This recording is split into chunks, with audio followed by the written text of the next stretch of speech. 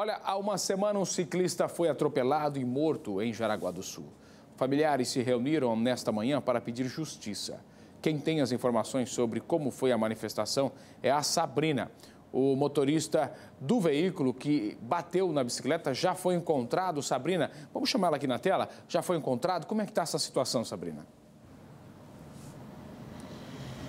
Elber ainda não foi encontrado e por isso, né, o pedido é por justiça, como você falou, porque nesse manifesto, familiares, amigos e a própria comunidade estiveram reunidos para então pedir por esclarecimentos.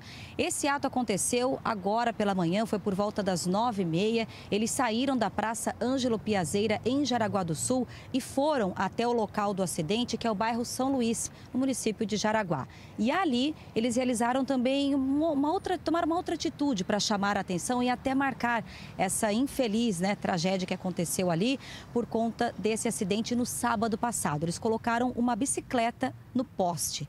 Nesse acidente, a vítima tinha 22 anos, chamava-se Natan Felipe Postai e, de acordo com as informações, de acordo com testemunhas, o motorista bateu na bicicleta, o corpo dele foi lançado aí por cerca de 15, 20 metros e aí, diante dessa situação, ele ainda bateu esse motorista da caminhonete numa outra estrutura da rede de abastecimento de água da cidade. Ele chegou a ser atendido, a vítima, né, o Natan, chegou a ser atendido por um policial de folga que passou por ali até o SAMU chegar, foi levado ao hospital, mas não resistiu aos ferimentos.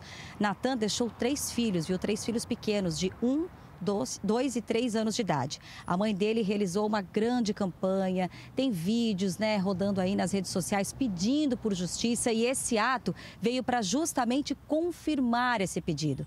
A Polícia Civil informou que segue com as investigações, testemunhas estão sendo ouvidas, mas neste momento tudo é mantido em sigilo para o decorrer dos trabalhos realizados pela Polícia Civil.